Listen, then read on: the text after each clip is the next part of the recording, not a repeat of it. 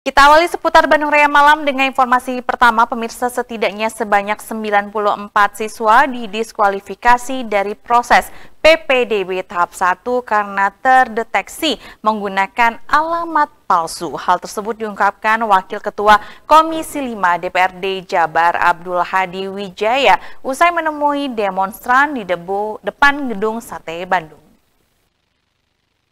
Usai menemui demonstran yang berunjuk rasa terkait kuota jalur afirmasi, Wakil Ketua Komisi 5 DPRD Jawa Barat Abdul Hadi Wijaya menyatakan pihaknya menerima informasi dari Disdik Jawa Barat jika ada 94 siswa di SMA Negeri 3 dan SMA Negeri 5 yang didiskualifikasi dalam PPDB 2024 karena menggunakan alamat palsu.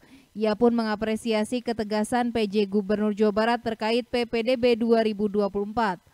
Terakhir kami juga uh, apresiasi terhadap sikap tegas yang telah diambil oleh Pak PJ Gubernur dan Pak PLH Kadisdik yang hari ini membatalkan, mendiskualifikasikan 94 anak yang sudah keterima dan ketahuan bahwa mereka melakukan proses manipulasi ya. Bukan anaknya siapa pun ada yang melakukan manipulasi data masuk ke alamat yang tidak benar dan lain-lain penyimpangan sudah diketahui dan langsung dieksekusi tidak untuk diterima.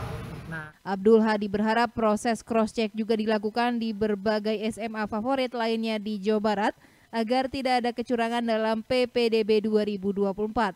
Ia pun menampung aspirasi para demonstran agar kuota jalur afirmasi diutamakan.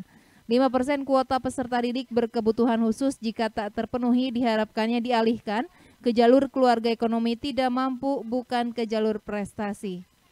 Budi Hartati, Bandung TV.